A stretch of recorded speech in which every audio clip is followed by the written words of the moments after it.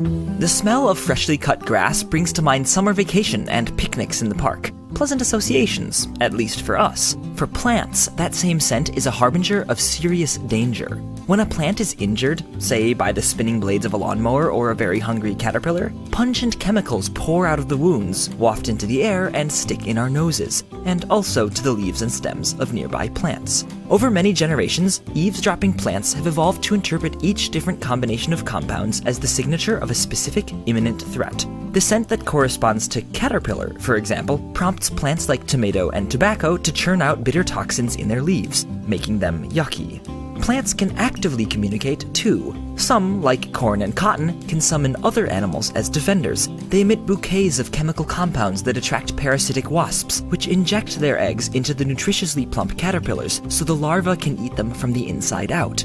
Teamwork!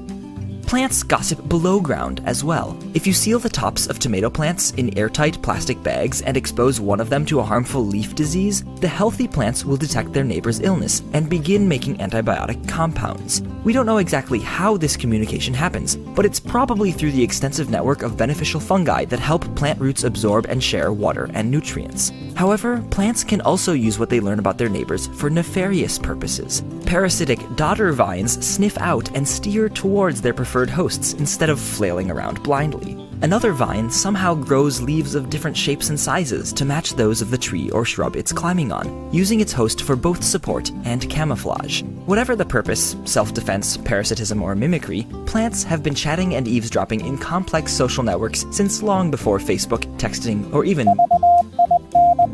If anything, we took a leaf from their book.